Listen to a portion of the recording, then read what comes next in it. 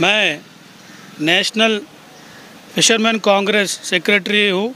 आज तीन दिन से हम गांधीवाद तरीका से हैदराबाद बशीरबाग ईडी ऑफ़िस के पास धरना कर रहे हैं।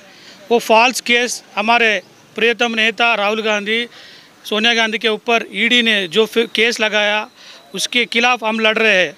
तो आज ये तेलंगाना पुलिस, देखिए, हमें कैसा कैसा हमें मार रहा है, वो लाठी चार्ज कर रहा है, वो बीजेपी के जो ऑर्डर्स ये टीआरएस वाले पास कर रहे हैं, हमारा ये शांतियुत का, ये धरना को इन लोग वांटेडली स्पाइल करके हमारा राहुल गांधी साहब को रोज़ चार दिन से कोई कैदी को नहीं बुलाते, ऐसा चार दिन से बुला के ईडी वाले जो हरासमेंट कर रहे हैं, उसके खिलाफ हम लड़ रहे हैं।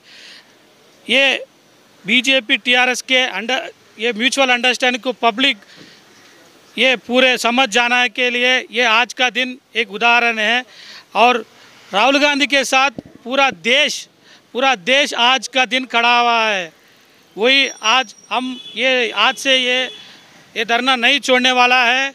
आ, किसी किसी भी किस कि, कितना भी दूर चलने दो आज हम कांग्रेस लीडर्स कार्यकर्ता सब राहुल गांधी रा, सोनिया गांधी के साथ है।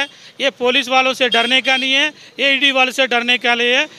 जय Congress we stand we we stand with Rahul Gandhi and Sonia Gandhi. हम सावरकर नहीं है, गांधी है, हम डरते नहीं है।